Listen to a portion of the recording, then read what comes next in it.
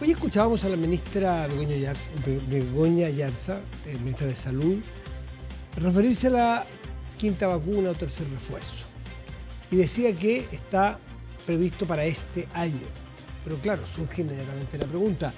Este año estamos a agosto, mitad de agosto, queda mucho. ¿Cuándo de lo que resta del año? Es parte de lo que le vamos a preguntar. Vamos a ver qué nos puede responder. A Gonzalo Soto, que es Seremi de Salud de la región metropolitana. Gonzalo, buenas noches y gracias por estar aquí. Buenas noches, Matías. Muchas gracias por la invitación. Yo sé que usted tiene que usar mascarilla, pero por protocolo, nosotros, para hacer claridad, porque con los otros entrevistados no, por la distancia, por el espacio, por el tiempo, podemos mm. estar sin mascarilla, pero usted representa otra cosa, así que perfecto. ¿Cuándo dentro de este año? ¿Qué información tiene usted? Porque me imagino que hay gente que ya cumplió seis meses con la última vacuna y bueno, y está inquieto. Güey. O sea, en efecto, el anuncio de la ministra es que durante este año se va a implementar esa medida. No obstante, efectivamente hay un número importante de personas que están rezagadas. O sea, por ejemplo, lo que es la cuarta dosis, eh, a nivel nacional el alcance del 78% para los mayores de 18 años y la región metropolitana del 72%. Entonces tenemos mucho esfuerzo todavía para poder eh, ampliar la cobertura de vacunación en lo que es la cuarta dosis y también los que han rezagado de la primera y segunda dosis del año 2020-2021. O sea, eh, estamos muy, desde la región metropolitana, estamos muy enfocados en poder ampliar los puntos de vacunación para poder alcanzar y acortar la brecha de alguna manera a la población rezagada todavía. La pregunta que se hace el público, si es que la ministra o el ministerio no da una fecha, ¿es porque los estudios indican que todavía hay respuesta o la respuesta es de las personas que tienen la, vacuna, la última, el último refuerzo, la respuesta ha sido y sigue siendo suficiente para protección o porque no están las vacunas? No, o sea, eh, nos cuenta justamente de la Ceremi que efectivamente el Ministerio permanentemente está evaluando la situación, eh, el contexto epidemiológico de alguna manera que nos permite hoy día estar este, con este nivel de inmunidad.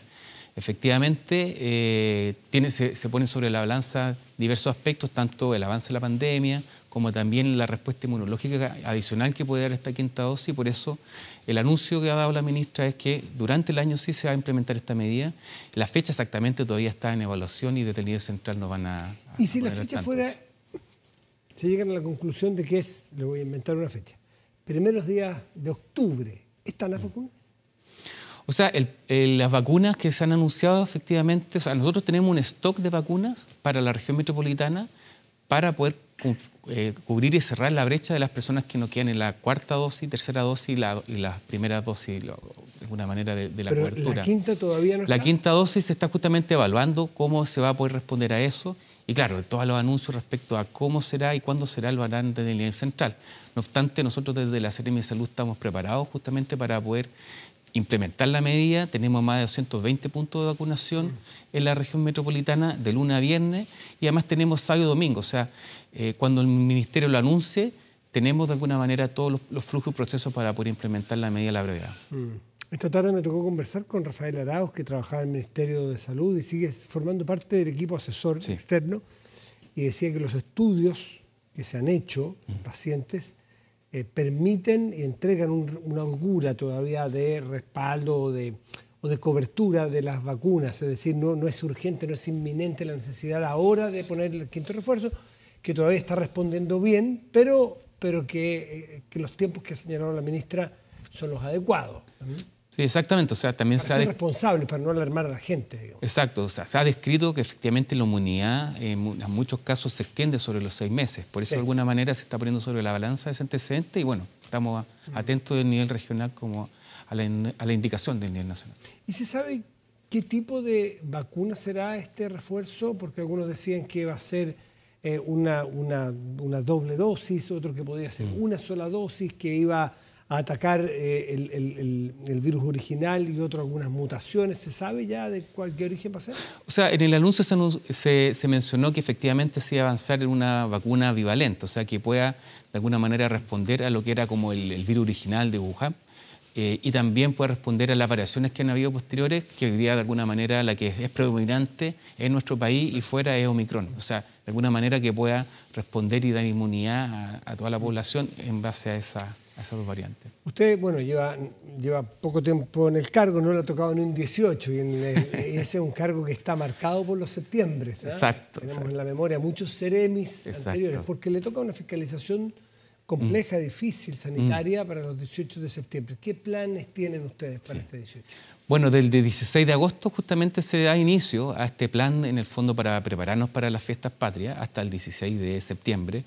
Eh, como la medida más importante porque de alguna manera hay que poder resguardar también no solamente todas las medidas que de alguna manera nos puedan proteger y de alguna manera estar preparados para la pandemia, sino también lo que tiene que ver con alimentos, resguardar de alguna manera mm. también todos esos requerimientos. Eh, en primer lugar, eh, nosotros tenemos la Ceremi 390 fiscalizadores que se distribuyen en toda la región metropolitana, las 52 comunas. Hoy día, por ejemplo, estuvimos con la ministra, llevarse con el subsecretario Cuadrado, junto con la presidenta de la Asociación Chilena de Municipalidades, la alcaldesa Carolina del Estado, junto a otros municipios, eh, en el cual se firmó un convenio para poder aumentar esa dotación de 390 personas con dedicación a la fiscalización con 204 personas más. Eh, fiscalizadores, que son fiscalizadores de las municipalidades, pero que están dotados con mayores atribuciones. ¿Son personas que recorren las calles, los lugares en, alimentación, básicamente? Eh, se le entregan mayores facultades como para ser un fiscalizador de la Ceremi. por ejemplo, ¿qué facultades por ejemplo, ese fiscalizador? Por ejemplo... Por si alguien recibe alguno. Claro, por ejemplo, un fiscalizador que sea de una municipalidad. Por ejemplo, son 18 municipalidades los que se suman a este convenio, más dos municipalidades, las Conde y Providencia, que ya venían trabajando en esto previamente. Y, por ejemplo, uno de ellos se puede acercar a un, lugar donde se está haciendo una fonda, por ejemplo, y no se esté eh, requiriendo, por ejemplo, el pase de movilidad a la entrada. Eh, un inspector municipal no puede cursar ningún tipo de, de, fondo sumario, o me refiero a un acta en el fondo que se puede levantar para hacer un sumario sanitario. Hoy día estos fiscalizadores de las municipalidades sí lo pueden hacer. O sea, pueden, de alguna manera, eh, tienen las mismas atribuciones que un fiscalizador de la Ceremi para poder de alguna manera levantar un acta y generar un sumario sanitario, para poder de alguna manera perseguir las responsabilidades, por ejemplo, de un productor que esté a cargo de esa actividad como un restaurante o una fonda o una, una, actividad quizás cultural que se pueda dar en el 18 de septiembre. ¿Cómo ven ustedes las curvas de aumento de casos que sabemos que estamos? Ayer, si no me equivoco, había 50.000 mm. casos activos a nivel mm. país. Eh, ¿Cómo ven ustedes la proyección de las curvas llegando a septiembre? Porque la pregunta es, bueno, en septiembre tenemos dos eventos, el, mm. evento del 4, ¿no es cierto?, que es un evento político electoral, y el evento del 16, 17, 18. ambos requieren masividad, salir a las mm. calles, ¿no es cierto? Eh, ¿Hay riesgos de que entremos en fases más restrictivas de circulación? Eh, una, uno de los pilares, de alguna manera, por el cual el Ministerio de Salud hace su evaluación permanentemente, semanalmente, respecto al avance de la pandemia, está basado en el impacto que tiene eh, la pandemia. Por ejemplo, en junio del año 2020 teníamos 3.800 personas aproximadamente UCI. En junio del año pasado teníamos 4.964 en, en, UCI. Y en junio de este año eh, solo tuvimos 400 personas. O sea, hay un impacto que ha cambiado. Eso es fruto efectivamente de un, de un esfuerzo del Estado en el fondo, el gobierno, más allá de, los gobiernos justamente de poder generar espacios para poder tener una inmunidad como población.